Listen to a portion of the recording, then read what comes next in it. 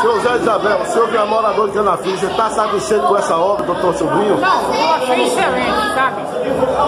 Eu, a primeira vez que eu vim aqui, eu gostei.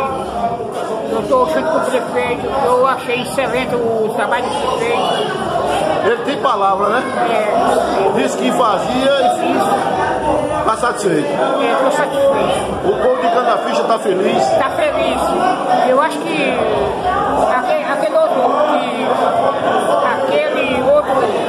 matador era um, uma injustiça que não existia, mas sabia que é isso